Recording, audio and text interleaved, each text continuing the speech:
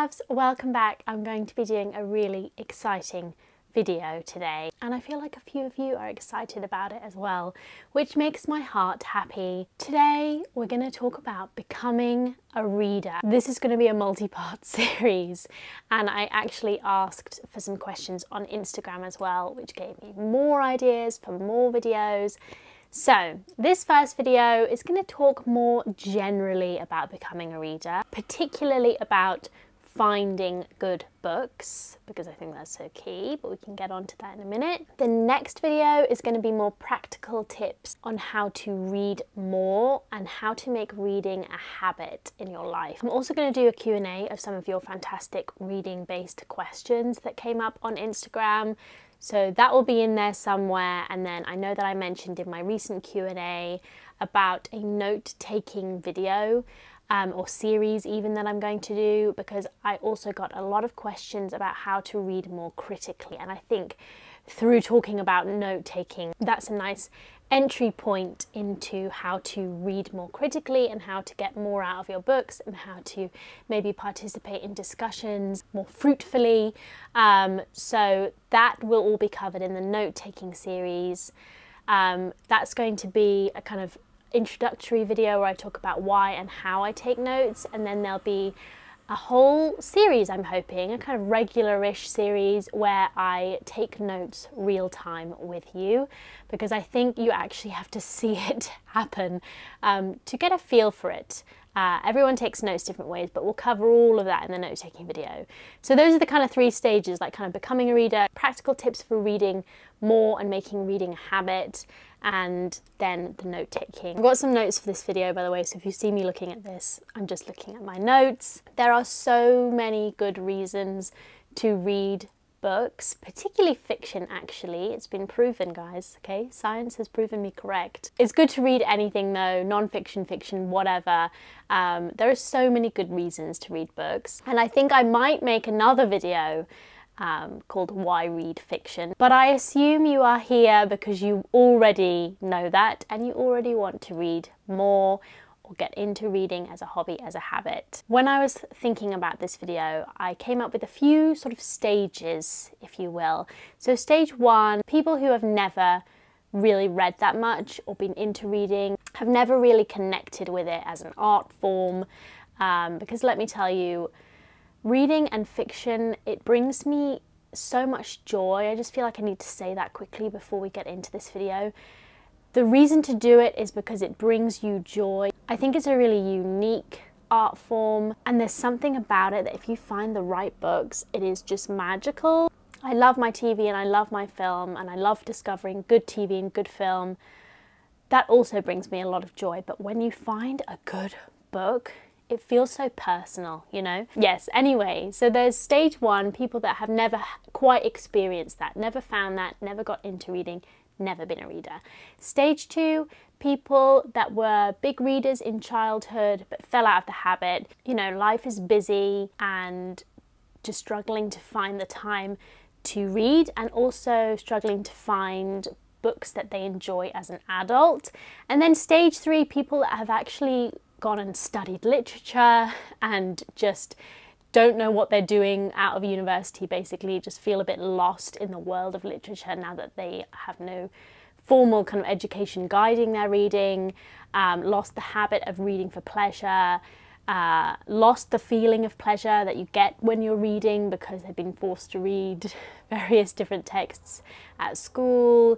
Maybe or maybe you've done humanities of some description and you read a lot or you read a lot in your degree, so you're kind of familiar with complex reading, but again, you just haven't found your way back into it after university, something like that. So those are my three stages of people that I think might come to this video. Okay, editing me is coming in here, but I think for stage three, I would also put people who consider themselves more casual readers, maybe fall in and out of love with reading. Sometimes you read a lot and then you kind of use it for a few months and you want to become a more regular reader. So you have familiarity with what's out there, maybe a little bit more of an idea of what you like. I do think probably the next video is slightly more applicable to you, but I think you fall under my stage three umbrella. And I was stage three.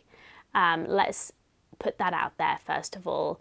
I finished my master's degree and I hadn't really read consistently for pleasure for a long, long, long time. Um, maybe I would read a few books over the summer, but during my term time, I would never have really read for pleasure. And I think that's really normal, by the way, um, that, you know, it's okay not to be able to manage that because to be reading all day, reading really complex stuff, and then go home and read as well, sometimes it's just not feasible. I will say that actually during my masters I did read a little bit more, but we can talk about that later. I was stage three, and so I sort of found my way from there. Finally, before we get into the rest of the video, um, someone asked me a really good question actually on Instagram, which was, what does being a reader mean to you? Um, I think she suggested like is it being able to analyze books, like the quantity of books you read, being a slow versus a fast reader? Honestly, none of those things. To me, being a reader means reading fairly regularly doesn't have to be every single day but you know weekly probably and enjoying those books you probably don't even need to read weekly if you read books and you enjoy what you read and you look forward to reading. That is what being a reader means to me and the, my definition that I'm using in these videos. I just want people to be able to read and enjoy it. And it really doesn't matter what you're reading, I mean, within reason. Um, but like genre wise, it doesn't matter. Form wise, it doesn't matter. Um, if you want to read graphic novels, that is reading. Everything is reading. Um, and I just want to bring the joy, the sheer joy of reading to more people. If you want, if you're looking to read more, that is what I would love this video to help you do. So a lot of these things are going to be applicable across all three stages, but I'm kind of going to start with the stage one people and we'll move through and probably end up talking more about the stage three people in this video. Hopefully YouTube will split us up into nice chapters here. I'll see what we can do if you want to skip to a particular part of the video. But I think one of the first things to do when we're looking at kind of stage one is to identify why you aren't a reader yet. Is it bad English teaching? Were you forced to read classics at school which just completely put you off reading entirely? Or did your parents make you read a selection of books that you never connected with? You know, were you not allowed to pursue genres that you liked um, for fear of feeling embarrassed or like people would judge you? Or is it something more of kind of a processing problem like ADHD or dyslexia? Um, I'm sure there must be really good book creators out there um, that probably talk about the ways they work with their ADHD to read more. But can I just say, obviously, not having um, a great deal of first person experience, but I just want to throw audiobooks out there early on here. Don't let anyone ever make you feel that listening to an audiobook is not reading. I mean, obviously, it's not physically reading, but it is still consuming books. What I want more than anything else is for people to consume more books, you know, because there's so many good books out there. And let me tell you, if you have ever, you know, when people say, I don't really like films, sometimes I see people say that, I'm like, what do you mean? But I guess their brains just work completely differently from mine. But if you've ever read a good article, a good short story, you've read one book that you really loved, any of these things, if you've ever read anything and enjoyed it to some extent, you know, you know that your brain can process joy through reading, or you've listened to a story. Stories being key as well, because, you know, fiction is stories. If you like TV and film, you know, you like watching stories unfold. There is there are books out there for you, not just one book. There are many good books out there for you.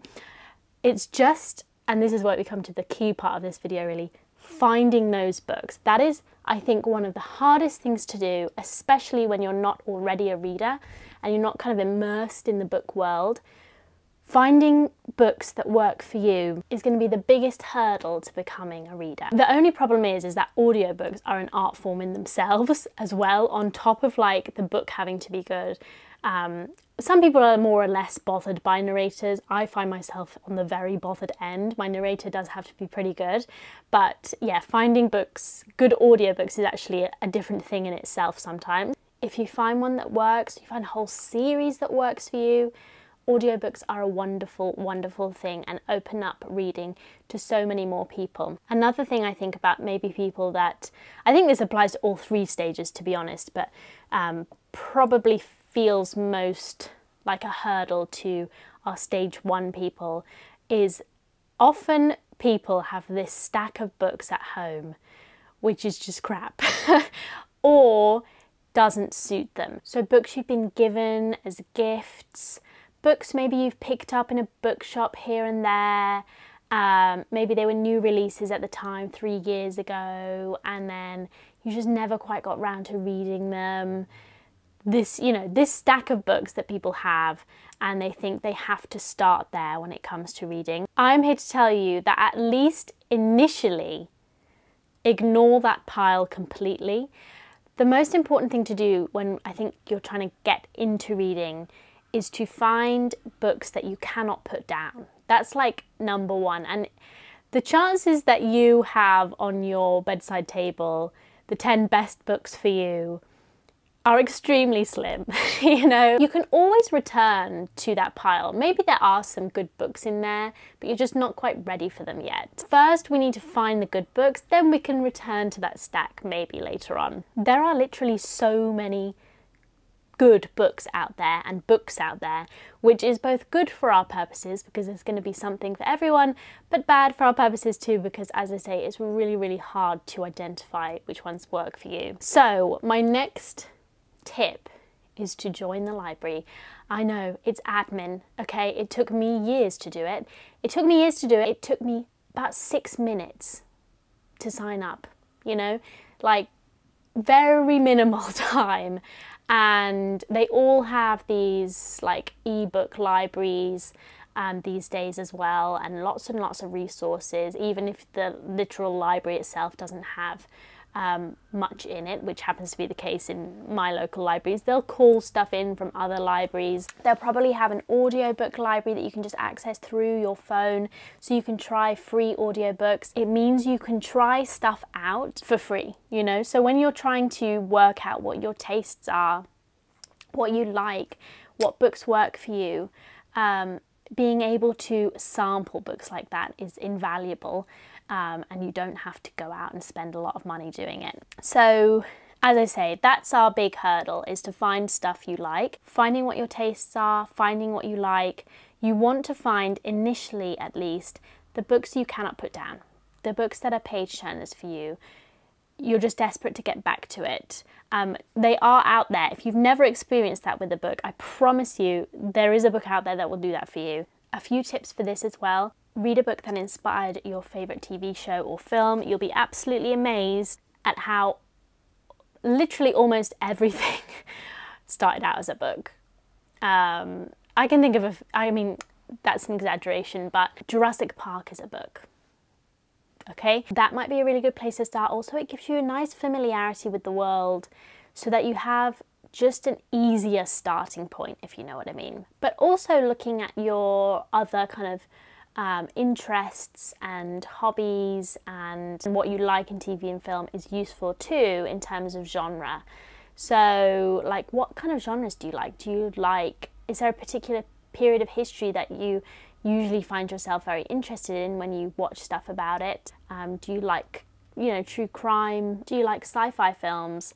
You know, there's so many different ways to use your existing knowledge about what you like and put it to use with books. And then you can just hop onto Google, search best fiction about World War II, best sci fi novels, best contemporary romance novels, you know, so many options there that might give you a nice little starting point. For our stage tours, you want to think about what you loved reading as a kid, maybe even rereading something from that period of time just to get the flavour of what you liked about it. Um, never feel afraid to reread something just because you think you should read something new.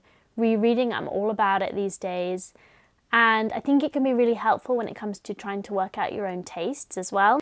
As a kid, did you enjoy speculative fiction? So, a little bit about my kind of reading journey, I suppose, is that I read a lot of speculative fiction as a kid. A lot of kids do because a lot of children's literature and young adult literature, even back in the day, was speculative to some degree. And then I did, you know, long periods of um, school and university reading classics, reading reading literary fiction, which I do love as well, and also informs a large, huge part of my reading. And then I came out of university, and at university I discovered N.K. Jemisin's Broken Earth trilogy, and as in in my masters, I realised I'd probably been a bit snobbish about speculative fiction in my adulthood, and that actually um, it was one just as wonderful as it was when I was a kid. So when I say speculative fiction, it means sci-fi and fantasy, basically. Um, stuff that is speculative, not real. And I made a big return to those genres, and you only need to see how many literary authors are writing speculative stuff these days to realize how like fundamental it is to much of our cultural output. But anyway, yeah, think about what you liked as a kid, try and find similar things. Um, don't be afraid to read a bit of young adult literature as well as you're trying to get back into the habit. Like I say, it's it's really a battle of finding your page turners and making it a habit. Now, for my stage one folks, this is where I get a little bit useless because obviously I love reading. I have studied literature. I have been reading ever since I was very, very small. So my recommendations are probably not a good starting place for you. Um, I did go into my little hive mind though uh, with the book club and I asked them about what they would recommend for people that haven't read a lot before and want good page turners, want things that are really accessible. Came up with some truly wonderful ideas. Unfortunately, a lot of the books I kind of read earlier in my reading are hidden behind what you can see. There's like three layers of books. I may make another video on this at some point, going into a bit more depth, but this is what my patrons came up with. So we have Fingersmith by Sarah Waters. Um, I read and loved this one. It's set in Victorian London. It's got a bit of a twist. Um, Hannah suggested that one, Books on the Bedside, but she also suggested Noughts and Crosses, which is a wonderful. Um, it's young adult fiction from my era, and I read it and loved it as a probably probably a child really not even a teenager but it is definitely sophisticated enough to be very enjoyable as an adult. Um, Arne suggested Andy Weir's The Martian, which is a lot of fun. Um, the film with Matt Damon is based on it.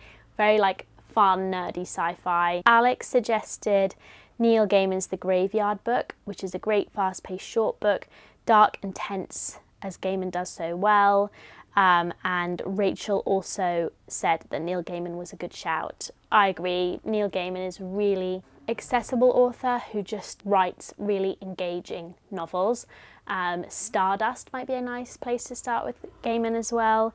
Um, Rachel also suggested the Chaos Walking trilogy by Patrick Ness and Pillars of the Earth, which I saw in another of these sort of books for not yet readers um, it's a huge book, I think, but it's a, a, Rachel described it as a rollicking read, and that is a historical novel. Neapolitan Quartet came up, uh, which is about two friends in Naples. Lottie suggested The Girl with the Dragon Tattoo, which I also back. It's been a long time since I read this one. It is a little chunky, but it is an engaging page turner for sure by Stieg Larsson. Pran suggested Circe and Song of Achilles. Those have been really popular. I know those are kind of based on Greek mythology. Martina suggested If We Were Villains by M.L. Rio, which I haven't read. Khaled Hosseini's books, um, which include Kite Runner and, oh, I can't remember the name, A Thousand Splendid Suns, both of which are lovely books, uh, which I've read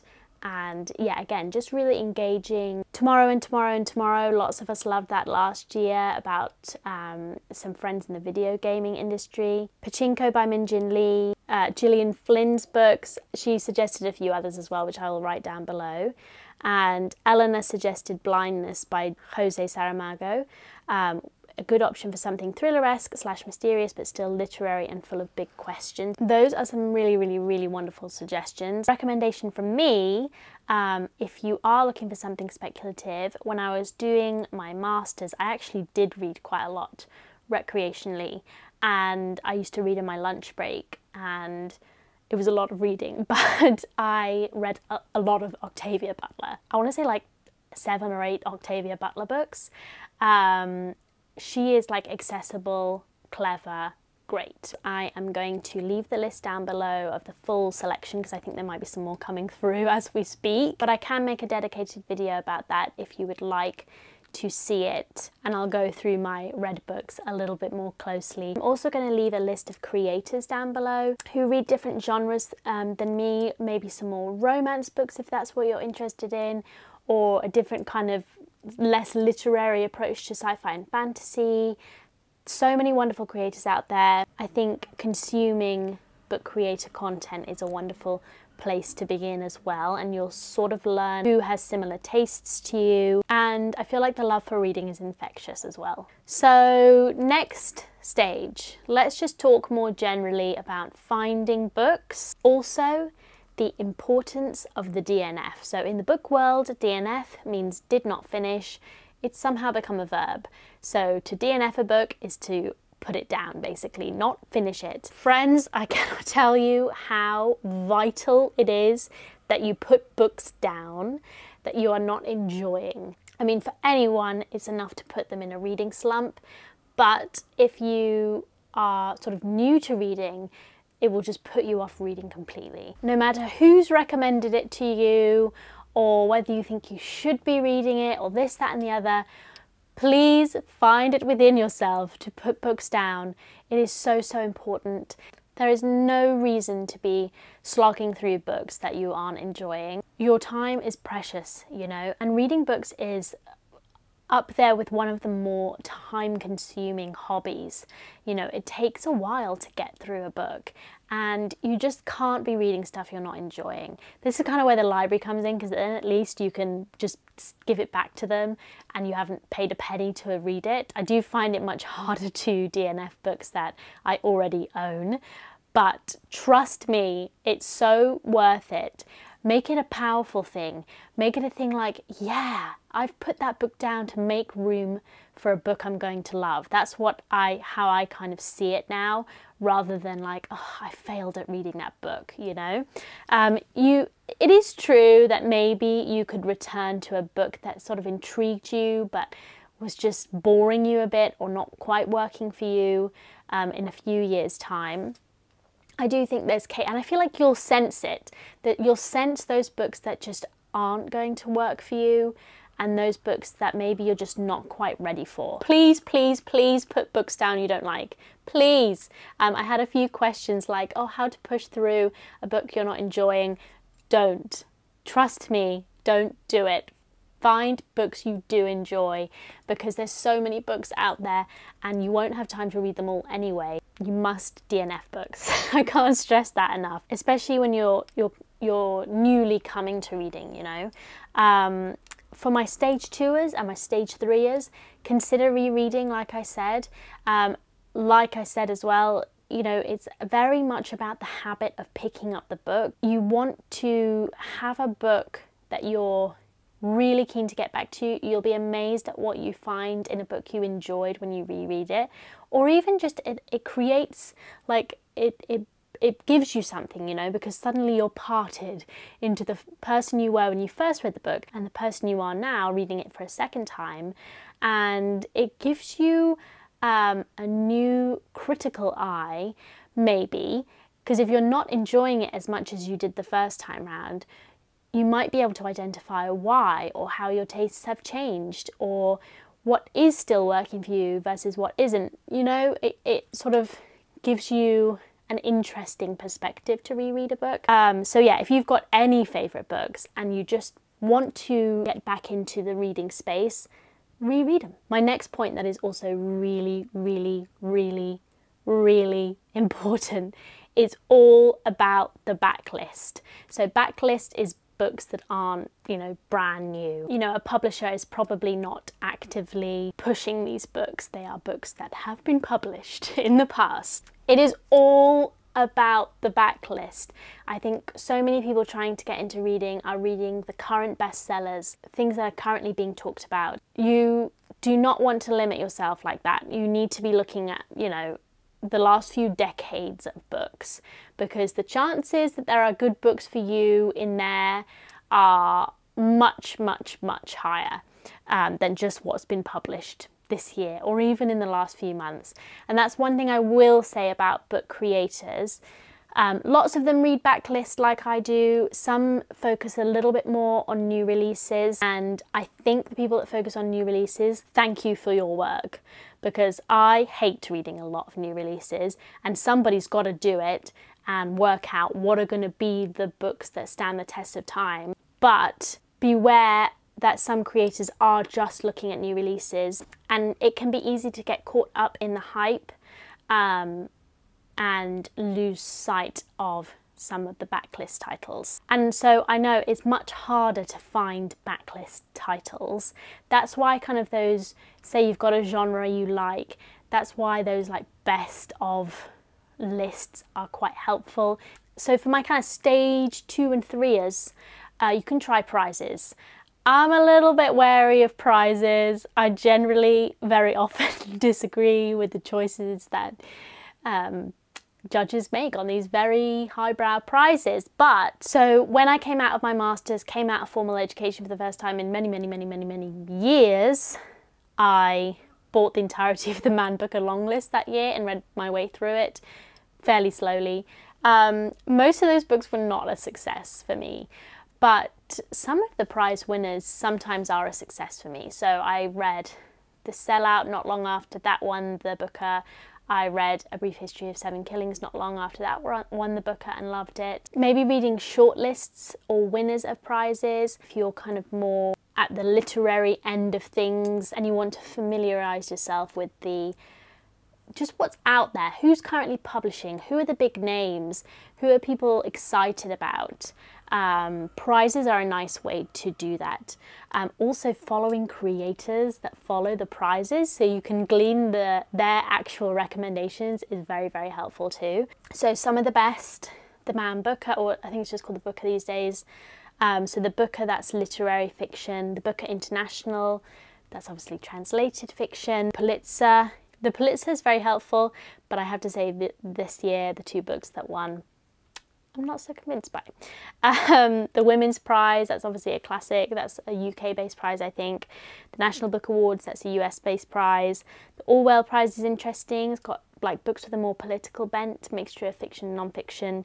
Um, if you're looking for genre fiction, each genre will have its own prizes, so it's worth looking them up. But the ones I'm familiar with as a speculative fiction lover are obviously the Hugo Award, sci-fi and fantasy. I think that's more kind of worldwide and then the Nebula, which is more US based, I think. The Dylan Thomas Prize is a nice one. Um, again, I'll list those down below for you, but let's talk more ways of finding books. So lithub.com is a really nice place to go. They have a lot of features, you know, just writing extensively about books, but um, if you go onto their menu at the top, they have a section called reading lists and they often publish really good reading lists. Just the other day, I found an incredible selection of LitHub reading lists called, I think it's called A Century of Reading or something, and they like summarize the best books from each decade along with a gloriously long, long list. So you get like a really good idea of what was popular in the 90s or whatever. I, I found it because I was looking for 90s backlist titles. I wanted to um, read more 90s fiction because I tend to find I get along with it well. So I found a lot of good, they do a lot of reviews and you know, they cover a lot of new books as well, of course, they've got to make some money. But I found some really good backlist titles through them. I'm pretty sure Train Dreams is the one that always pops into my head when I think of LitHub. And bookmarks.reviews, that's their sister site. It's kind of like Rotten Tomatoes for books. So that one's particularly good for new releases. If you are interested in just familiarizing yourself with the current names. If you want to have your finger on the pulse, um, bookmarks.reviews is a great place to go. So they kind of collate all the reviews on various books and they'll sort of give it a rating based on that. Yeah, they do weekly best reviewed books of the week and then best reviews to read because obviously book reviews in themselves are quite interesting. So it's worth looking there on occasion. Obviously, you could also join a book club. You can join my book club if you so please, but also your local book club, like it's worth checking out your library, it's worth checking out your local indie bookshops.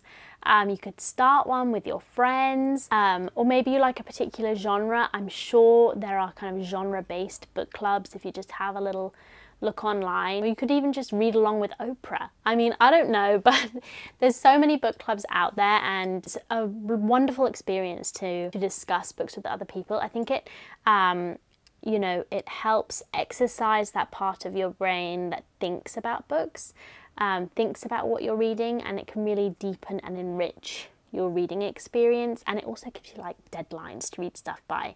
So, thinking about deadlines, back to libraries might be a good resource, is a good resource for finding good books talking to your librarian saying you know i love i love rom-coms i love whimsical films what books would you recommend to me? The nice thing about a library is that again it gives you little deadlines to read things by because you've got to return things which I think is very helpful um, to just push you to pick up a book a little bit more. Equally going into a bookshop and talking to a bookseller is wonderful. A lot of bookshops these days have wonderful kind of staff picks selections which I tend to find really much more helpful than the sort of new release selections that they they have to set out.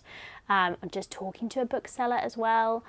And always read the first few lines, maybe even the first few pages um, of books where the blurb interests you because um, sometimes you might instantly be put off. There are also, I was having a little Google, there are also some websites and also like ChatGPT, which if you feed it books that you like, it will give you recommendations based on that. If you feel like human interaction is just way too much for you, let the AI do it. As long as you go and buy from your local indie bookshop and go to the library and use it, I think we can allow a little bit of AI in this case. Finally, a bit of a rogue one. I don't actually listen to any myself because I'm not a big podcast girl, but listening to a book podcast, there's lots out there and a lot of them really focus on backlist titles so that could also be a really nice thing and again I will um, take the recommendations of my wonderful, wonderful book clubbers and I will put them down below in the description box as well. I think that brings us to the end of this video. Just in conclusion, it is a long process finding your taste in books, finding what works for you, finding what doesn't work for you. It can take a long time, it can be just an ongoing life process. I feel that way myself, still discovering things about my own reading all the time. And I wouldn't say, honestly, until the last year or so have I really felt that the majority of what I read suits me and works for me and I like it. And that is partially being able to DNF books. Like I said, so, so, so important to give up on books that you don't like. And also my book club. I mean, they're wonderful. It's just incredible to chat to other book lovers and get all of these amazing recommendations of books I never would have otherwise heard of. Buddy reading together, reading for book club together, truly, truly just the most wonderful experience. When reading is a, an established part of your life, you may want to kind of branch out from those genres that you like and styles that you like, and maybe you do want to push through slightly in a book that maybe didn't appeal to you too much six months ago. But when you're just trying to get into reading, finding those books that just work for you is really, really important. If you found that you've DNF'd 20 books in a row, it might be worth just pushing through the first 50 pages of, you know, the most successful of those. And generally 50 pages is a good indication of how if, you, if you're going to like a book if you get to the 50 page mark and you're like eh you're probably not going to like the rest. I hope this has been somewhat helpful. I hope it helps you find the books you like. Another final point actually never feel bad about what you like. I think a lot of people get in their heads about what they should be reading, if people are going to judge them for reading this, that, or the other. Please don't be worried about the kind of the covers of your books or the genres of your books or whether it's young adult or adult. There is no guilty pleasure here. There is only what you enjoy. And if you enjoy it, enjoy it to the full, enjoy it to the max, and don't feel afraid to look into those genres that maybe you had dismissed um, because you might find some of your favourite books there. It is reading that is the wonderful thing, you know, it is not reading specific books. So, yes, that concludes this video. As I said, um, the next video is going to be more practical tips for literally reading more and making it a habit in your life. I hope you enjoyed. Let me know if you do have any more questions and stuff down below and I will pop them in the Q&A. But yes, I hope this was helpful. I'm worried that it wasn't, but I hope it was. And I hope it makes you feel good about your reading and excited about your reading. Um, but thank you so much for watching today, and I will see you very soon. Bye.